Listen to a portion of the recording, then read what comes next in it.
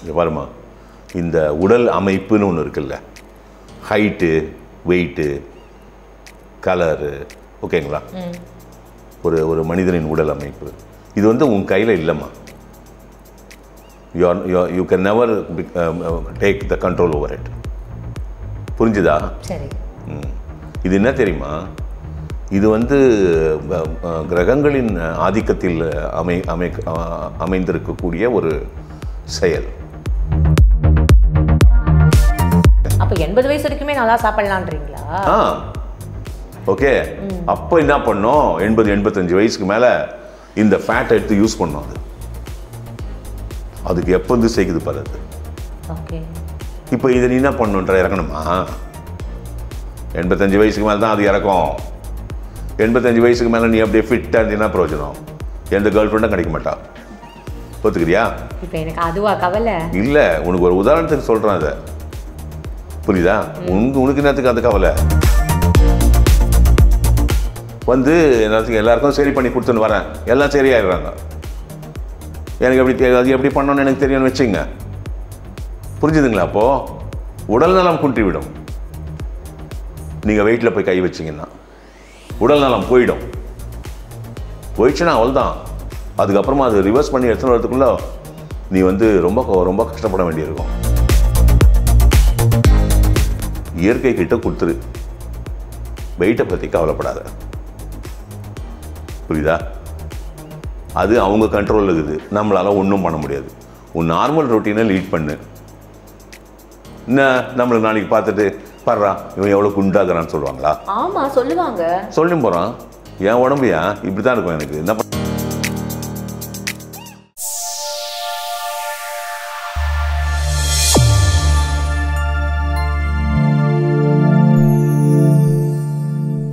வணக்கம் நேர்களே. Doctor C K Nandagopal அவரோட யூடியூப் சேனலுக்கு உங்கள் எல்லாரையும் அன்புடன் வரவேற்கிறோம். இன்னைக்கு வந்து ஒரு சுவாரஸ்யமான டாபிக் எல்லாரும் ஆவலாக எதிர்பார்த்துட்டு இருக்கிற ஒரு டாபிக் தான் நிகழ்ச்சியில் நம்ம சார் கிட்ட டிஸ்கஸ் பண்ணும்போதே உங்கள் எல்லாருக்கும் புரியும்னு நினைக்கிறேன். ஓகே ஃபைன் நிகழ்ச்சிக்கு போகலாம். சார் வணக்கம் சார் வணக்கம் வணக்கம். ஆ சார் நான் இப்போ வந்து ஒரு இம்பார்ட்டண்ட்டான ஒரு கொஸ்டின் கேட்க போகிறேன் ப்ரொவைடட் நீங்க வந்து யாரையும் திட்டக்கூடாது. யாரையும் வந்து நான் இஷ்டம். திட்டிருக்கேன் நீங்க? சொல்றீங்க சார் நீங்க எல்லாரும் இப்படியா நீங்க எல்லாம் அப்படின்னா சொல்றீங்க. அதெல்லாம் எதுவுமே அது திட்டு இல்லைம்மா. திட்டுறதுன்னா தகாத. வார்த்தைகள் பயன்படுத்துறது. ஆ, நாங்க வந்து இப்படி நீங்க ஊன்னு சொன்னாலே நாங்க திட்டுறதா தான் சார் எடுத்துப்போம். ஓகே இப்போ வந்து ஒரு ஒரு இம்பார்ட்டண்ட்டான ஒரு கொஸ்டின் ஓகேவா இது நம்ம டிஸ்கஸ் பண்ணியிருக்கோம் பட் ஸ்டில் வந்து பீப்புள் என்ன எக்ஸ்பெக்ட் பண்றாங்கன்னு எனக்கு தெரியல. தே நீட் மோர் இதுக்கு வந்து ஆன்சர்ஸ் எதிர்பார்க்குறாங்கன்னு நான் நினைக்கிறேன். சொல்லுங்க. வெயிட் கெயின் வெயிட் லாஸ் ஓகேவா நம்ம இதை பற்றி நிறைய டிஸ்கஸ் பண்ணியிருக்கோம் சார் பட் ஸ்டில் வந்து எல்லாருக்குமே ஒரு கன்சர்ன் இருக்குது நீங்கள் இப்போ ஒரு சொன்னீங்க போன இதில் நீ வந்து உன்னை எப்படி வச்சுக்கணுன்றதை தான் நீ பார்க்கணும். மற்றவங்களோட ஒப்பீனியன் உனக்கு தேவையில்லை அப்படின்னு நீங்கள் சொல்கிறீங்க ஆனால் நான் உங்ககிட்ட ஒரு விஷயம் கேட்குறேன் இப்போ ஒருத்தவங்க வந்து குண்டாக இருக்கிறதுனால அவங்க அன்ஃபிட்டாக ஃபிட்டாக அதையும் தாண்டி ஆனால் எல்லாருக்குமே வந்து தான் இளைக்கணும் தான் ஃபிட்டாக இருக்கணும் தான் நல்லா இருக்கணும் அப்படின்னு நினைக்கிறது வந்து தப்பு இல்லைல்ல அது வந்து எல்லாருமே ஆசைப்படுற ஒரு விஷயம் தானே?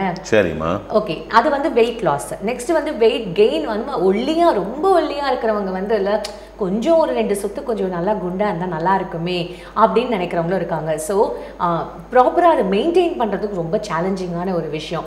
அதுக்கு கண்டிப்பாக டயட்லாம் இருந்து தான் ஆகணும். அது மட்டும் இல்லாமல் ஜிம் போய் எக்ஸசைஸ் பண்ணி தான் ஆகணும். ஸோ இந்த மாதிரியான ஒரு ஃபேஸில் இருக்கும்போது இந்த weight gain and weight loss வந்து இதையும் தாண்டி பாடி கண்டிஷன்ஸ்னு இருக்குது ஓகேவா அது வந்து ஃபீமேல் வந்து ரொம்ப challenges PCOD PCOS fibroid uterus bulge இது மாதிரி நம்ம நிறைய விஷயங்கள் டிஸ்கஸ் பண்ணியிருக்கோம்ல.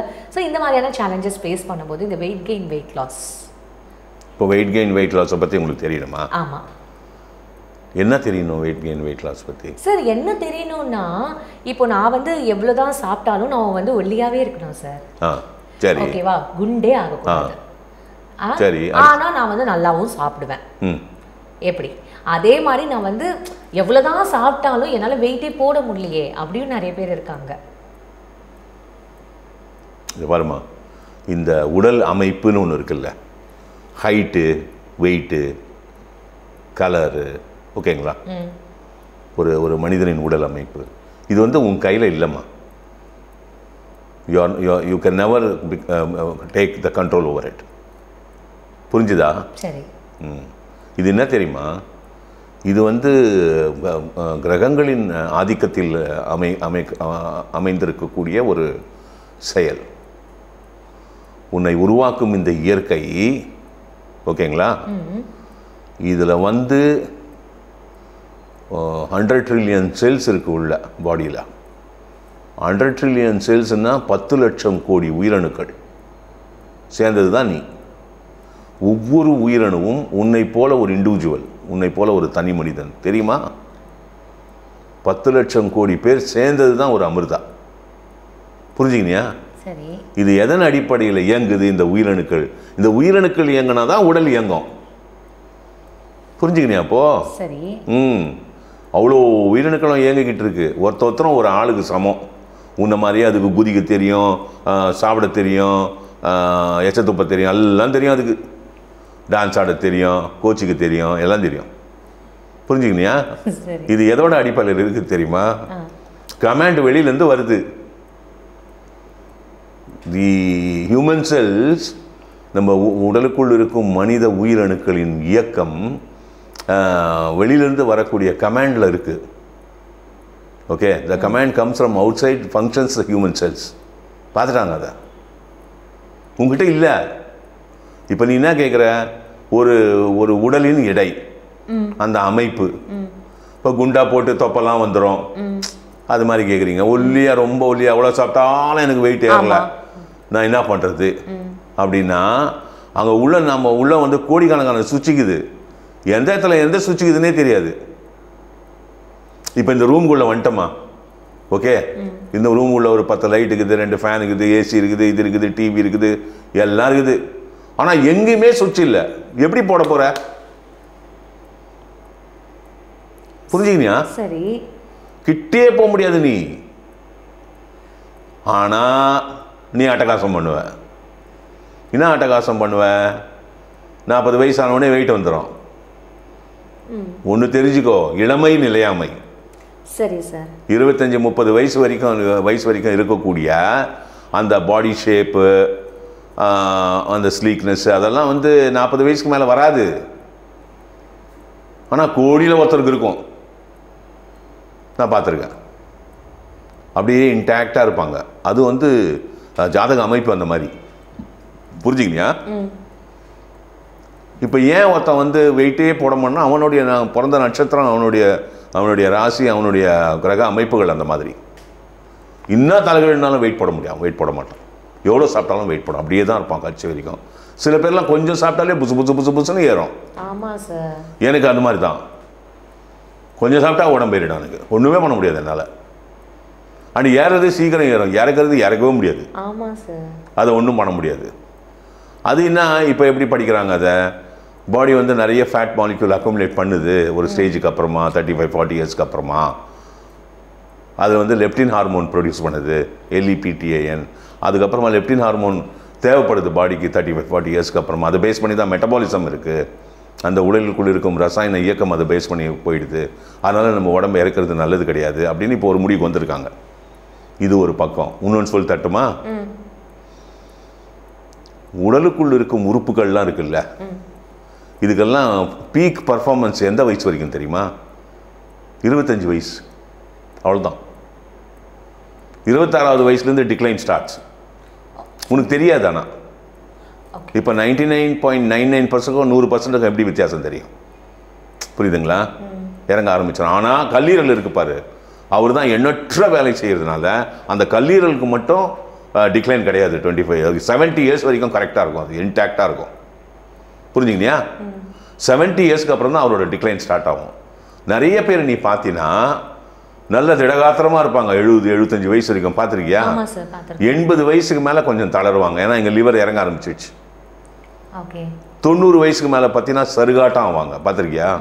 அப்படியே ஸ்- ஆமா சார் ஏன் தெரியுமா? முப்பது முப்பத்தஞ்சு வயசுலேருந்தே உடம்பு ஒரு மெக்கானிசம் வச்சுக்குது உள்ள.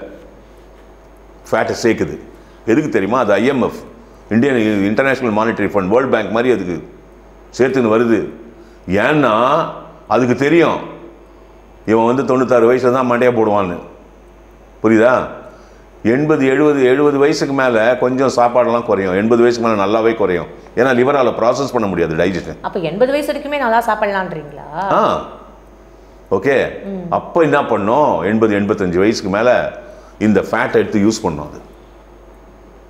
அதுக்கு எப்போ வந்து சேர்க்குது பாரு அது. ஓகே. இப்போ இதை நீ என்ன பண்ணுன்ற? இறக்கணுமா? எண்பத்தஞ்சு வயசுக்கு மேலே தான் அது இறக்கும். எண்பத்தஞ்சு வயசுக்கு மேலே நீ அப்படியே ஃபிட்டாக இருந்தீங்கன்னா பிரயோஜனம். எந்த கேர்ள் ஃப்ரெண்டும் கிடைக்க மாட்டா. ஒத்துக்கிறியா? இப்போ எனக்கு அதுவா கவலை? இல்லை உனக்கு ஒரு உதாரணத்துக்கு சொல்கிறேன் அதை. புரியுதா? உனக்கு உனக்கு என்னத்துக்கு அந்த கவலை? இப்போ உங்களுக்கு அது கவலையா? எனக்கு இல்லைம்மா. அந்த எண்பத்தஞ்சு இருக்கிறான் அவனுக்கு அந்த கவலை. ம். ம்.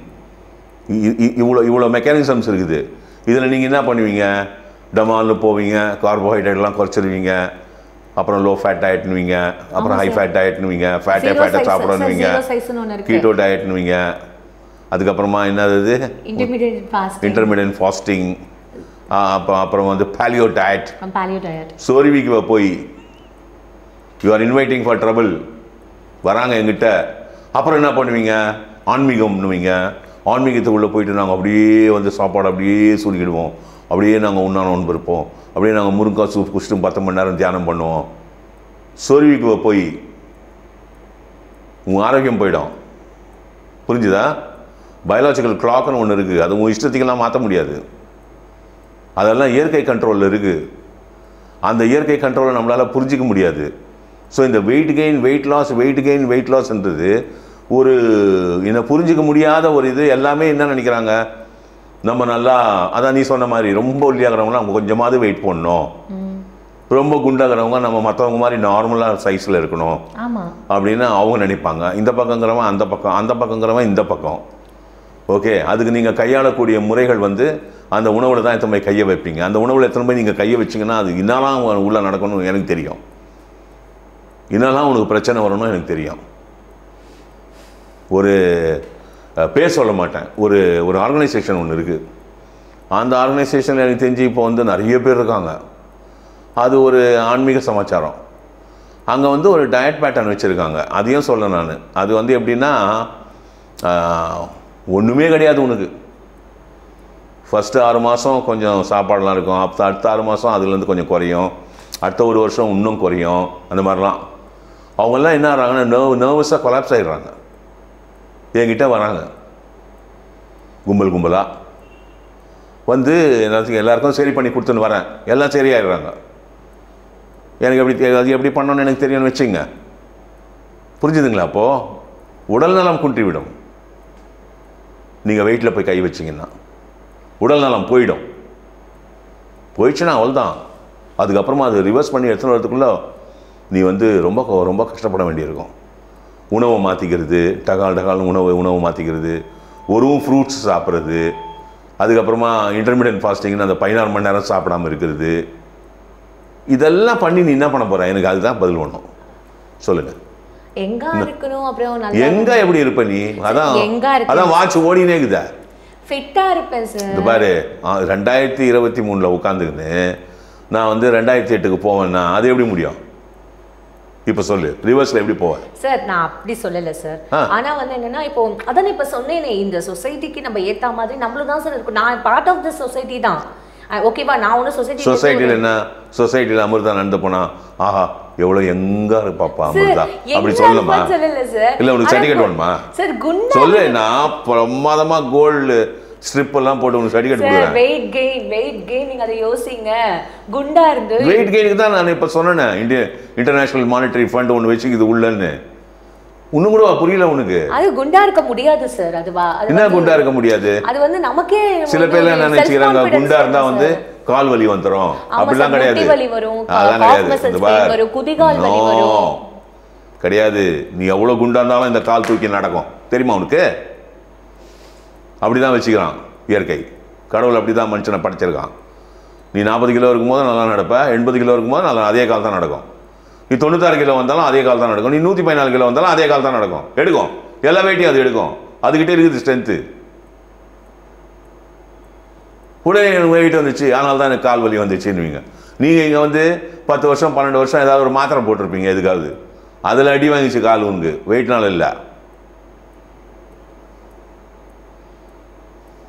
இயற்கை கிட்ட கொடுத்துரு. வெயிட்டை பற்றி கவலைப்படாத. புரியுதா? அது அவங்க கண்ட்ரோலில் இருக்குது. நம்மளால் ஒன்றும் பண்ண முடியாது. உன் நார்மல் ரொட்டீனை லீட் பண்ணு. என்ன? நம்மளுக்கு நாளைக்கு பார்த்துட்டு பாடுறா இவன் எவ்வளோ குண்டாக்குறான்னு சொல்லுவாங்களா? ஆமா சொல்லுவாங்க. சொல்லும் போகிறான் என் உடம்புயா? இப்படி தான் இருக்கும் எனக்கு. என்ன பண்ண சொல்கிற சார் இது நீங்க வந்து ஒரு ராங்கான ஒரு விஷயம் சொல்ற மாதிரி ராங்கான விஷயம் sir. எப்படிம்மா இருக்குது? நீங்க எல்லாம் நல்லா ஃபிட்டா இருங்க நல்லா எக்ஸசைஸ் பண்ணுங்க நல்லா வந்து ஜிம்முக்கு போங்க உங்களை யோகா பண்ணுங்க ஹெல்த் இஷ்யூவை நல்லா வந்து கம்மி பண்ணுங்க அப்படின்னு தான் நீங்க சொல்லுமே தவிர குண்டா இருக்கான்னு சொன்னா சொல்லிட்டு போட்டுன்றதெல்லாம் நீங்க சொல்லாதீங்க சார். இது பாருமா இப்படி தான் இது இதுதான் நான் சொல்கிறது வந்து ப்ராக்டிக்கல் ஃபேக்ட்ஸ் சொல்கிறேன் உனக்கு உடனே அப்படியே போ நீ யோகா பண்ணு நீ இது பண்ணு நீ அது பண்ணு. எவன் பண்ணுறான் எவனும் கையை காலே ஆட்டுறதில்ல. வராங்க என்கிட்ட. என்னப்பா என்ன பண்ணுறீங்க ஏதாவது எக்ஸசைஸ் பண்ணுவீங்களா? இல்லை சார் இருபது வருஷம் மேலே ஆயிடுச்சு சார் எதுவும் பண்ணுறதில்ல என்ன சாப்பிடுவீங்க? ஸ்க்ரீன் பார்ப்பீங்க? வேலை செய்வீங்க? கம்ப்யூட்டர் பார்ப்பீங்க? வீட்டுக்கு வருவீங்க? சாப்பிடுவீங்க? தூங்குவீங்க? ஸ்க்ரீன் பார்ப்பீங்க? இதுதானே? அப்புறம் வெயிட் என்ன? வெயிட் வராமல் எங்கே போவோம்? எக்ஸசைஸ் பண்ணுங்கன்னு சொல்லுங்க. யார் பண்ணுறாங்க ம், சரி நீங்க சொல்லுங்க. யாரு யா- யாருமே கை கால் ஆட்டுறது இல்லையே. எங்க ஆட்டுறாங்க இப்போ? நான் சொல்கிறது ஒன்றா கொச்சையாக இருக்கலாம் ஆனால் இதான் உண்மை. யார் எக்ஸசைஸ் பண்ணுறாங்க அது பார் அறுபத்தஞ்சு வயசாகுது எனக்கு. நான் பண்ணுற எக்ஸசைஸை முப்பத்தஞ்சு வயசுக்காரன் பண்ணான்னா எட்டாவது சர்க்கியூட்டில் ஹார்ட்டுக்கு இஞ்சி செத்துருவான். ஒத்துக்கு உனக்கு தெரியாது. வந்து பாரு. அதை கொடுத்துட்டேன் வீடியோ வந்து நின்றுக்கோ இருபது சர்க்கியூட் பண்ணி காமிக்கிறேன். அப்போ பாரு தெரியும் உனக்கு. யார் பண்ணுறாங்க இன்னைக்கு? அப்புறம் வெயிட் வெயிட்டுன்றீங்க உடன் இருந்துட்டு போகுது. நீ நான் தூக்கி நான் போகிற கையில் பையில். ஒத்துக்கிறியா? ஒத்துக்கல. ம் பையில் தூக்கின்னு போறியா கையில்? எங்கே போனாலும் நான் அந்த பை தூக்கின்னு போகிறேன்ப்பா அப்படின்னா நான் ஒத்துப்பேன். அந்த பை அறுத்து கீழே போட்டுருவேன் ஆமா சார் நடக்கிறதே கஷ்டமா தான் சார் இருக்கு. யாருக்கு? உனக்கா? சரி நானும் குண்டா தான் இருக்கேன். ஆமான்னு வச்சுக்கோங்க. இல்லை நடக்கிறதுக்கே கஷ்டமாகுதுன்னா யாருக்குன்னு கேட்குறேன் சார் ஜென்ரலா சார் உங்களுக்கு எப்படி சொல்லி புரிய வைக்கிறதுன்னு எனக்கு தெரியல சார் ஏம்மா நான் உன்ன அளவுக்கு எழுத படிக்க எழுத படிக்கலம்மா. சார். ஏம்மா எனக்கு நான் எழுத படிக்க தெரியாதவன். நீ சொன்னீன்னா நான் கேட்டுக்கிறேன். கமெண்ட் செக்ஷன்ல என்ன திட்டணும். அதுதானே கமெண்ட் செக்ஷனில் எதுக்கு உன்னை திட்ட போகிறாங்க எனக்கு தெரிஞ்சது வரைக்கும் தான் நான் சொல்ல முடியும். எனக்கு இவ்வளோ தான் தெரியும். இதுக்கு மேலே போய் என்ன சொல்லு நீ நீங்கள் எப்படி தெரியுமா கேள்வி கேட்குறீங்க அமிர்தா? நீ சொல்கிறதுக்கு நீ எதிர்பார்க்குற பதிலை நான் கொடுக்கணும். அது எப்படி முடியும்? சார் நான் அப்படி சொல்லல சார். ஆனா நீங்க நீங்க எல்லாமே வந்து இல்ல எனக்கு அகைன்ஸ்டா தான் பேசணும் அப்ப நீங்க உனக்கு அகேன்ஸ்டாலாம் இதில் உனக்கு அகேன்ஸ்ட்லாம் என்ன இருக்கு? உனக்கு அகேன்ஸ்டாக நான் பேசி சார் நான் என்ன சாதிக்க சார் ஓகே நீ எக்ஸசைஸ் பண்ணுமா? நீ வந்து ஃபிட் ஆவ? அது நான் சொல்ல மாட்டேன்ற மாதிரி நீங்க உறுதியா இருக்கீங்களே. நான் தான் அதுதான் இந்த ஃபார்மில் வந்து சொன்னேன். யார் எக்ஸசைஸ் பண்ணுறீங்க வெயிட்டை பற்றி பேசுகிறீங்களே யார் வந்து ஒரு கை கால் ஆட்டுறீங்க? யார் வந்து ஒரு எக்ஸசைஸ் பண்ணுறீங்கன்னு கேட்டேன். கரெக்டாக தானே கேட்டேன்? நீ நான் உட்காந்துக்கின்னு ஸ்கூல் வாத்தியார் மாதிரி டே காலையில் எழுந்திருங்கள் பல்லை தேயுங்கள் அதுக்கப்புறம் போய் ஒரு மணி நேரம் நடங்கள் அப்புறம் பத்து நிமிஷம் யோகா பண்ணுங்கள் அப்புறம் சாயந்தரம் வந்து குதிங்கள் எக்ஸசைஸ் பண்ணுங்க இப்படி சொல்லுமா? இது உனக்கே தெரியணும். ஒத்துக்கிறியா? ஆமா. See the point is here. ரொம்ப சிம்பிளாக சொல்கிறேன் what is the quality time you spend for your physical friend உன்னுடைய ஆரோக்கியத்திற்கும் நலனுக்கும் உடல் நலனுக்கும் நீ ஒரு நாளைக்கு ஒவ்வொரு நாளும் எவ்வளவு நேரத்தை ஒதுக்குகிறாய்? இதுக்கு பதில் சொல்லு முதல்ல. அப்படியே மந்தமாக ஒரு வாழ்க்கை வாழ வேண்டியது. திடீர்னு ஒரு நாள் எவனா ஒரு பொண்ணு கமெண்ட் வச்சுருவா நீனா இப்படி சண்டை பண்ணி மாதிரிக்கிற அப்படின்றவா. அப்போ தான் அவர் போய் கண்ணாடியில் பார்ப்பாரு. உடனே இந்த வரமா பொண்ணு சொன்னாதாம்மா எங்களுக்கு எங்களுக்கு வந்து அவமானம் ஆயிடும் ஆ. பொண்ணுங்களுக்கும் சார் பசங்க கூட அவ்வளவா எடுத்துக்க மாட்டாங்க சார். ஆனா பொண்ணுங்களுக்கு வந்து கொஞ்சம் லைட்டா வெயிட் போட்டேன்னு சொன்னா ஆமா. தெரியுமா? ஆமாம் என்ன என்னம்மா என்னம்மா கவிதா இப்படி வெயிட் போட்டுக்கிற நீ? அப்படின்னு ஒரு நாலு பையன் கமெண்ட் அடிச்சா முடிஞ்சிச்சு அந்த பொண்ணு. அழ ஆரம்பிச்சிடும் அது வீட்டில் போய். அழலாம் மாட்டாங்க அழ ஆரம்பிச்சிடனா என்ன. அழ ஆரம்பிச்சுனா கண்ணில் தண்ணி வருது இல்ல உடனே சாப்பாட்டை கட் பண்ணு இத்தை கட் பண்ணு நெய்யை கட் பண்ணு எண்ணெயை கட் பண்ணு. உடனே சாப்பாடை சுருக்கி உடனே அப்படி ஆகி நார்மல் லைஃப் லீட் பண்ணும்போது see we all live normal life okay we are not ஒரு ஒரு ஒரு பெரிய ஒரு ஹாலிவுட் ஆக்டர் ஆக்டர் ஆக்ட்ரஸ்ஸு ஒரு சினிமா துறையில் ஒரு முன்னணி நடிகர் அவங்கெல்லாம் வந்து they give lot of importance for the physical appearance அவங்க வந்து அப்போ தான் அவங்களுக்கு ஃபீல்டில் நிற்க முடியும். இதெல்லாம் ஒத்துக்கும் இதெல்லாம் ஒத்துக்கலாம். முக்கால்வாசி மக்கள் ந- ந- நடுத்தர மக்கள் சர்வ இது சாதாரண ஒரு சமுதாயத்தில் வாழக்கூடிய சராசரி மக்கள் வந்து தே ஷுட் ரியலைஸ் உன்னுடைய ஆரோக்கியத்திற்கும் உன் நலனுக்கும் நீ நேரம் ஒதுக்க வேண்டும். இங்கே வந்து ஒல்லியாக இருக்கிறேன் குண்டாகிறது கணக்கு இல்லை. எவ்வளோ ஆரோக்கியமாகிறன்றது தான் கணக்கு. நீ என்ன சைஸில் ஒன்றா ஓகேயா வணக்கம். நிறைய ஆர்கியூமெண்ட்ஸோட இன்னைக்கு வந்து இந்த டிஸ்கஷனை வந்து நான் க்ளோஸ் பண்ணியிருக்கேன். இது இங்கோட நிற்க போகிறது இல்லை. இன்னும் அடுத்தடுத்து வந்து எபிசோட்ஸ் உங்களுக்காக காத்துட்ருக்கோம் இன்னும் அடுத்த நிகழ்ச்சியில் உங்களை வந்து சந்திக்கிறேன். அதுவரை உங்களிடமிருந்து விடைபெறுவது உங்கள் அமிர்தா.